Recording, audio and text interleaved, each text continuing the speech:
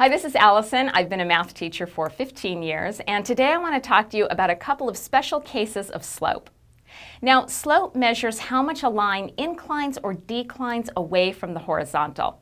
So let's just look at a couple of examples. Let's look at the points 1, 4, and 3, 4.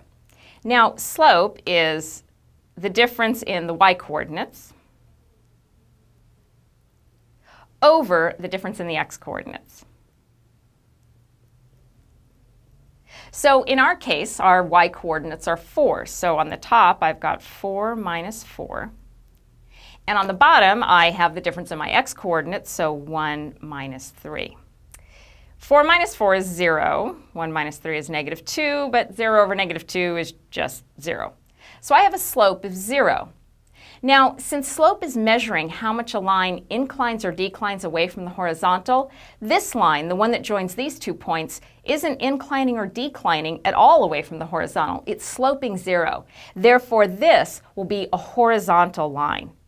It will be parallel to the x-axis. So let's look at another example. Let's say we have the points 4, 1, and 4, 3. Again, I'm just going to calculate the slope as normal. I'm going to take the difference in my y-coordinates, so 1 minus 3, over the difference in the x-coordinates, 4 minus 4. 1 minus 3 is negative 2, and 4 minus 4 is 0. But we're trying to divide by 0, and that's not defined. So here we have a slope that is undefined. Now, whenever you have a slope that's undefined, that means it's a vertical line. So this line will be parallel to the y-axis. Anytime you calculate a slope of zero, you've got a horizontal line. And anytime you calculate a slope that is undefined, where you're trying to divide by zero, you'll get a vertical line. And those are a couple of special cases of the slope. Thanks for learning with me today.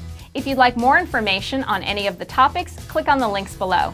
And be sure to rate, comment, or subscribe to our channel. If you have a specific request, please send it to requests at mahalo.com. I'll see you next time.